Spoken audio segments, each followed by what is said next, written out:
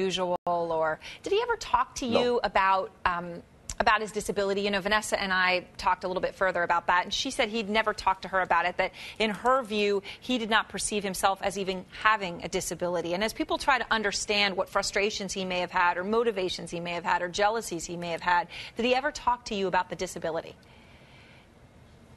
Not once have I ever talked to Oscar and gotten the sense that um, he felt any what, uh, you know, any bit, the least bit um, unlucky as to how his, his life had turned out. In fact, um, some of the last, um, you know, conversations back and forth on, on social media that I had with him is that he was enjoying his new sports car. Him and his buddies had just come back um, off of a fantastic vacation.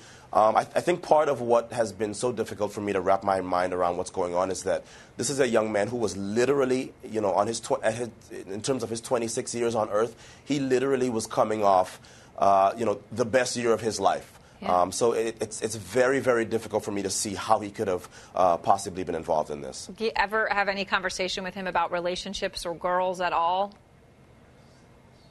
No, never a conversation uh, about it. And, and, you know, I, I've had to um, kind of decided, you know, for me and, and for a lot of people who interact with him at work, it's sort of a selfish shock if you're shocked uh, about the events that he's alleged to have done because you feel like you know him. But the reality is you know him at work. And um, very few people are the same at work as they are at home, and even, and even worse, um, in an intimate relationship. So I've, I've kind of resolved that, you know what, I knew Oscar um, pretty well at work when I interviewed him and, and watched him do his thing at work, but it's not the same as somebody in an No. intimate relationship with a No, young it's a, woman. that's a really fair point. Now, there are reports out of London that sources close to the investigation say police found steroids inside Pistorius' home. Um, according to these reports, they're now looking into whether Oscar may have killed his girlfriend Reeva in an episode of so-called steroid rage or called roid rage.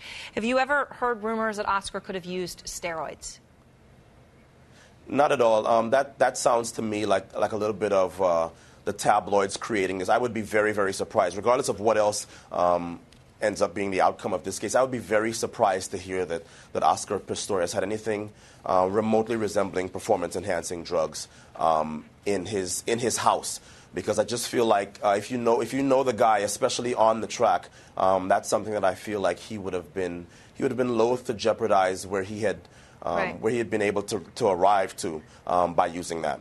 Um, you know, Ato, the, the, the, the difficulty in this whole story is, and there are so many details still to be worked out, but, but that it's reported that he shot her four times, that and may have hit her with a baseball bat. They're trying to figure out whose blood it was on that bat. But if it comes out that he did this in a cold-blooded murder, you know, you're, you're saying a lot of positive things about him, and that's your impression of him. But how will you uh, come to terms with that and rationalize that if indeed it turns out he did this? Well, I am a firm believer that athletes and guns are never a good mix.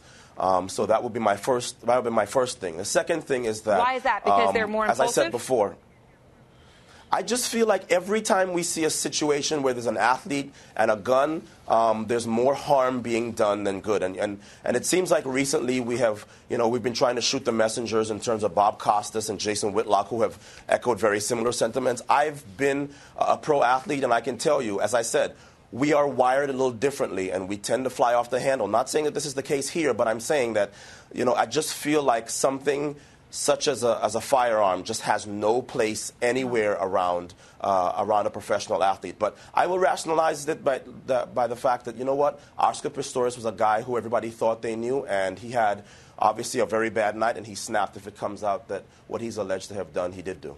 All right.